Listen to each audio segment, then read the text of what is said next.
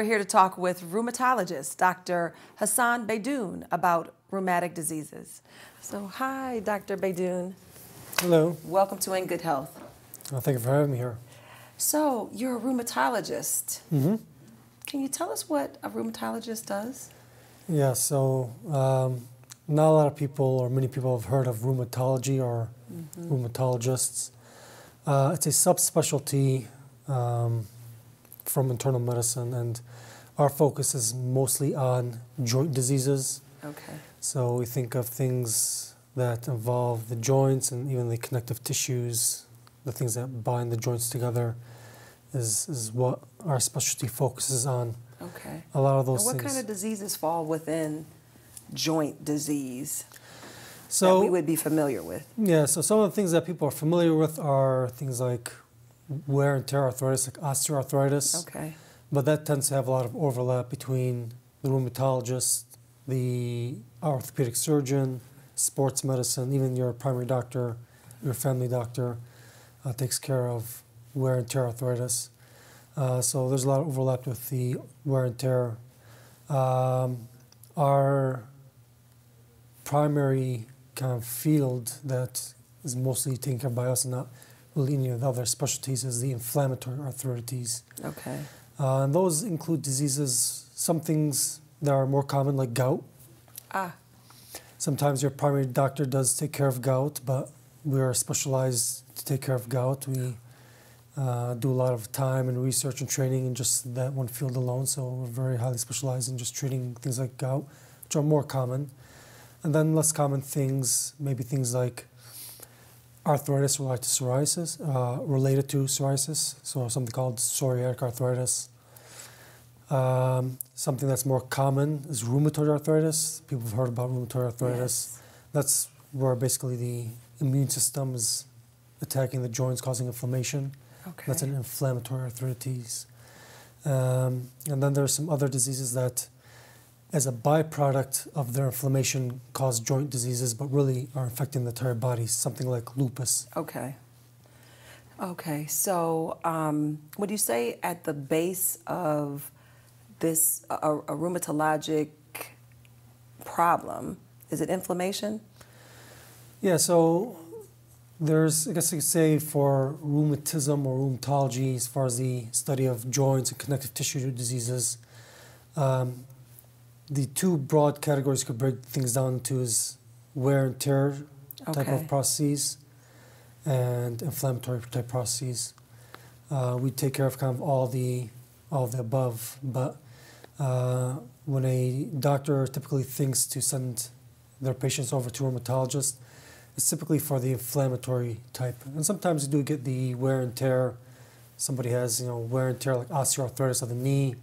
We may you know inject the knee, drain the fluid, things like that. But Okay. when it comes down to the inflammatory side, like if a doctor thinks or your primary or family doctor thinks of you know, possible rheumatoid arthritis, Mm-hmm. which is an inflammatory condition, your immune system is causing inflammation in those joints, then definitely they, they send to the rheumatologist because that requires treatments that are kind of specialized only to us.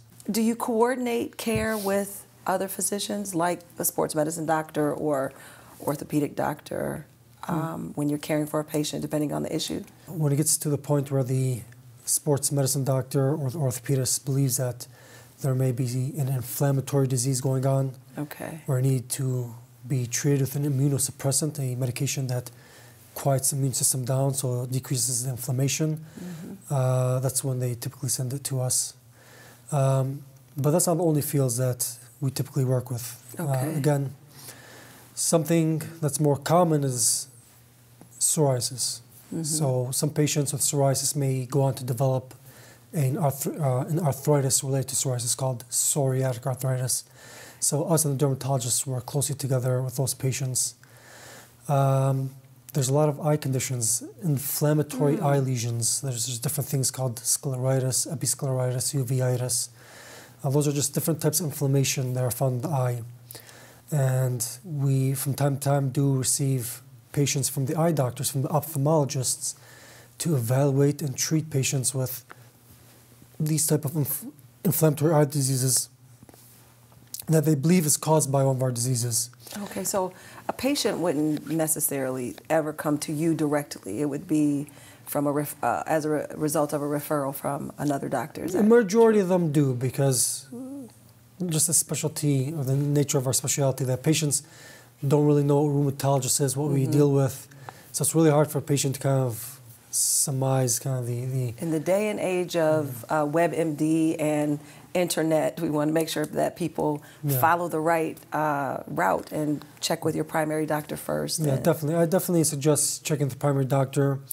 Uh, and like I said, sometimes you might be referred from a specialist. Again, I talked about the skin doctors, the dermatologists. I talked about the eye doctors, sometimes orthopedists or sports medicine. But there's also referrals from your GI doctor. There's something called uh, inflammatory bowel disease related Okay. uh, arthritis, which can be found in patients with Crohn's disease, ulcerative colitis.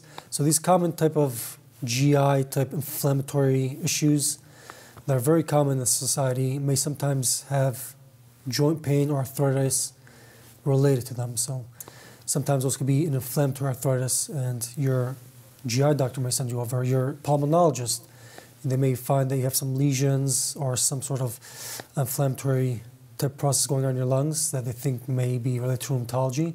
So your mm-hmm. pulmonologist may send you over. So, in short, because rheumatological, most rheumatological diseases tend to be autoimmune in nature, or Okay. a good majority, a good bulk of them tend to have an autoimmune component. Um, they tend to have multiple systems involved. That's why we work with not just your primary doctor, but specialists as well. So definitely should see your primary doctor or a specialist. Uh, coming to a rheumatologist without having somebody else evaluate Full you. For, evaluation. yeah. You may come in the clinic and it may be something completely unrelated to what I deal with. So, as far as autoimmune diseases go, um, can you give us a? I know we hear that term a lot, but can you give us some more information about what an autoimmune disease actually is? Yeah, so autoimmune diseases are basically when your immune system is attacking its own self. Wow. So immune system is naturally designed to attack foreign invaders. And they have a bunch of circuitry in the immune system to check everybody's passport. it checks your body's passport and checks everybody else's passport. And if you're not carrying the right passport, the immune system is going to go after you. In autoimmune diseases, there's a breakdown in that tolerance, that self tolerance. So it no longer recognizes your own body tissues as having the correct passport, and it initiates the military to attack, if you want to put it in those terms. That makes Uh, good sense. Not all autoimmune diseases are rheumatologic. So, what kind of treatments uh, do you employ? So depending on what the what the disease is, what the diagnosis is, would, would decide or would dictate what kind of treatment that we use.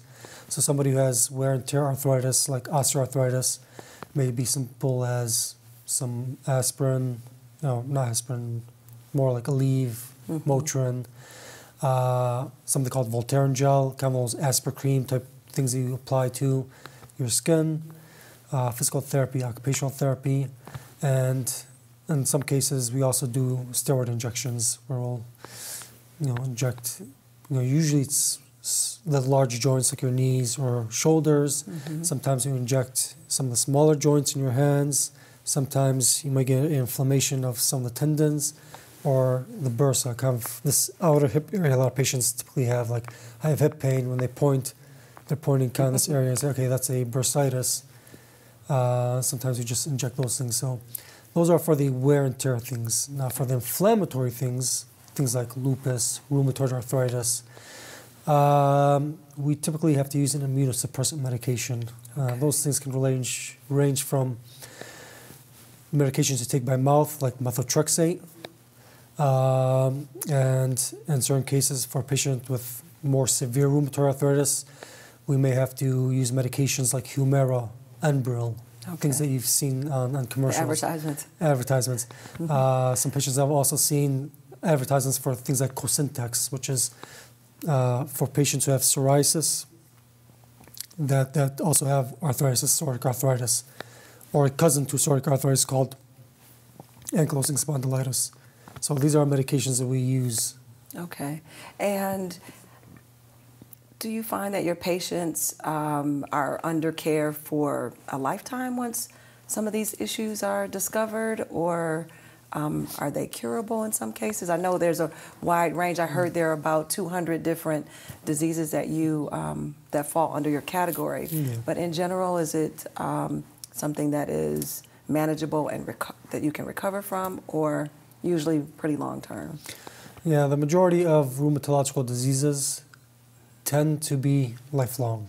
Okay. So it's it's uh, in a rarity you may have an acute case, but a majority of our diseases, like you said, we have over 212 different type of arthritis we deal with, or causes of arthritis, um, and majority of the ones we deal with are, are lifelong type things.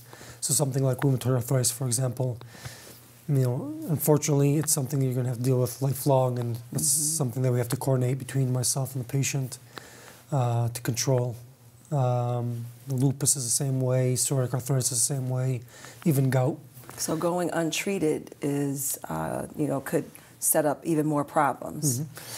Yeah, so before before the advent of these biologic agents, Humira, Enbrel, uh, Cosentyx, all these new targeted therapies to your immune system, um, even before some of the oral medications like methotrexate, sulfasalazine, Plaquenil, uh, you know, rheumatologists really only had one kind of tool in their, their or maybe a couple tools in their arsenal, which is steroids and uh, high doses of non-steroidal anti-inflammatories like aspirin, Motrin, Okay. naproxen. Um, and at that time, so when the doctors who trained me were were practicing back in the 70s and 60s and even up to the 80s, uh, you'd see patients with rheumatoid arthritis, for instance, would have very severe deformities. I mean, you would see Hmm. just kind of a normal hand like mine, but if you've seen someone with rheumatoid arthritis, it would be completely deformed. Okay. They'd be unable to make a fist, close their hands, button a shirt, even feed themselves because they're not able to use their hands at all. Wow.